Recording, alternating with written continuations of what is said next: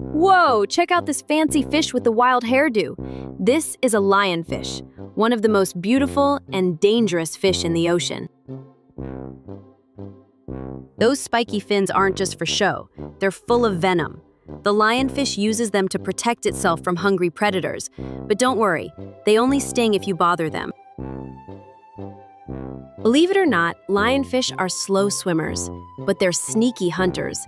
They wait in the coral for small fish or shrimp to come close, then snap them up in one gulp. Beautiful, dangerous, and full of surprises, the lionfish is a true ocean superstar. Don't forget to like, share, and subscribe for more underwater wonders.